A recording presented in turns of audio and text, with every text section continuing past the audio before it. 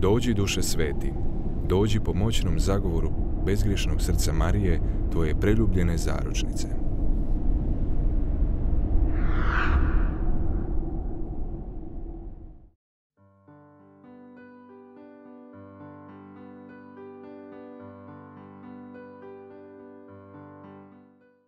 Iz Evanđelja po Ivanu. U ono vrijeme reče Isus Tomi, ja sam put, istina i život. Nitko ne dolazi ocu osim po meni. Da ste upoznali mene i oca biste moga upoznali.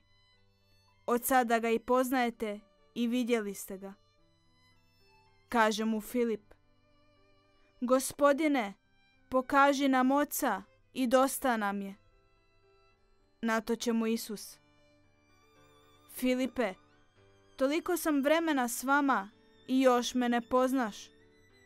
Tko je vidio mene, vidio je i oca. Kako ti onda kažeš, pokaži nam oca? Ne vjeruješ li da sam ja u ocu i otac u meni? Riječi koje vam govorim, od sebe ne govorim. Otac koji prebiva u meni čini dijela svoja. Vjerujte mi, ja sam u ocu i otac u meni. Ako ne inače, zbog samih dijela vjerujte. Zaista, zaista, kažem vam, tko vjeruje u mene, činit će dijela koja ja činim. I veća će od njih činiti, jer ja odlazim ocu. I što god zaištete u moje ime, učinit ću, da se proslavi otac u sinu. Ako me što zaištete u moje ime, učinit ću.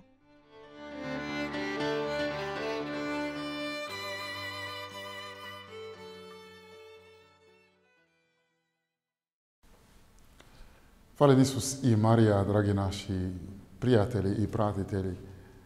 Danas slavimo dvojicu apostola i to je uvijek lijepo kada crkva stavlja dvojicu zajedno kao da nam želi poručiti da naša vjera da bi bila duboko kršćanska, duboko božanska, duboko Isusovska, da se tako izrazim, mora uvijek uključiti druge. Dakle, slavimo apostole Filipa i Jakova.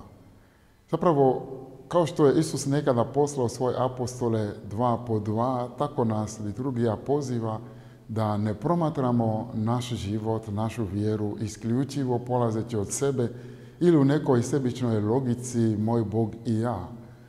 Samim time što kažem moj Bog i ja i isključujem druge, onda definitivno nisam više u Isusovoj logici ljubavi prema bližnjemu.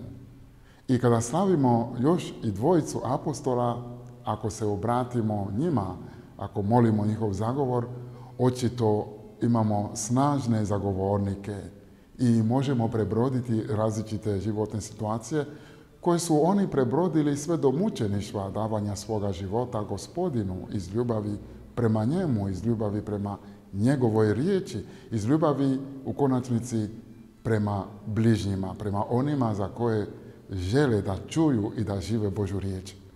I ta Božja riječ danas kaže, zapravo Isus sebe definira, što je rijetka, rijetkost u evanđelima inače, ali kod, kod evanđelista Ivana to je nešto što je uobičajeno. Isus kaže, ja sam put, istina i život. Ako promatramo naš život, naše življenje ovdje na zemlji, definitivno ćemo reći da je s jedne strane neprestani hod. I kada govorimo o hodu, onda govorimo o putu. A Isus kaže da je on put. To znači onaj koji putuje, rekao bi, u Isusu Kristu, onaj koji hodi s Isusom Kristom, taj očito svača Isusa kao put. Ako je on naš put, onda nema razloga da zalutamo. Nema razloga da idemo u slijepe ulice, na koje nas pozivaju ponekad različiti, različita obećanja, različiti prividni sadržaji koji nam obećavaju ispunjenje, ali ne mogu nas do kraja nikako ispuniti. Dakle, bez Isusa nema onoga temeljnoga putovanja, smislenoga putovanja, nema ni ostvarenja ili sreće na tom putu.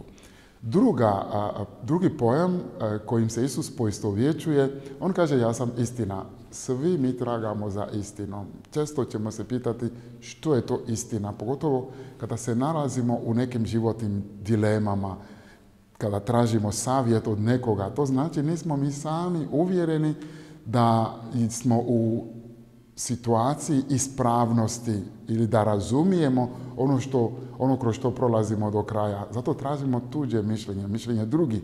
To znači želimo istinu. No onaj koji se drži Isusa Krista, koji ga moli u takvim situacijama, može doći do jasnoće. Dakle, istina ovdje to je jasnoća. Ponekad jasnoća ima svoju cijenu jer pretpostavlja dosljednost, dosljedno življenje. I nismo baš spremni za dosljedno življenje. Uvijek smo skloni nekim kompromisima ili prilagodbama ili pokušaju da nas drugi prihvaćaju i razumiju. Ne želimo nekako iskakati iz okvira, uobičajenih okvira. No, ako želimo živjeti u istini, ako želimo Kristovu istinu, ako želimo Krista kao istinu našega života, tu trebamo na neki način biti dosljedni. I to je ono što su učinili apostoli, pa su morali žrtvovati svoj život za tu istinu. I na kraju Isus kaže, ja sam život. Zapravo od njega, od Boga primamo dar života i nemamo mi čime njemu uzvratiti. Čak i ako se spustimo na neku nižu razinu, roditelji naši su bili otvoreni prema životu i preko njih smo došli na ovaj svijet. I bez obzira na to kakav je naš odnos postao, je li sve u redu u toj obitelji, ipak imamo taj dug, dug našega života, dug dara života prema roditeljima, naravno, prije svega prema Bogu. I ne možemo ničim to uzvratiti. Zato i kada dođu oni trenuci nesporazuma, određenih sukoba, ne zanemarujemo vrijednost i važnost, važnost naših obitelji.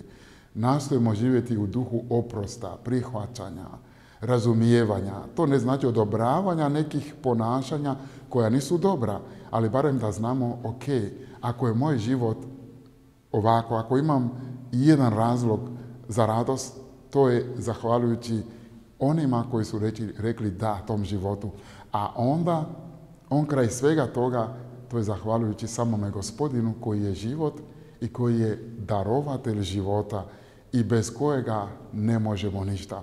Dakle, ja sam put istina i život, to je zapravo kao da nam Isus želi reći naša kretanja, naša razmišljanja su besplodna, naš život u konačnici je besmislen ako nije ukorijenjen u njega kao gospodina. Neka vas prati njegov blagoslov.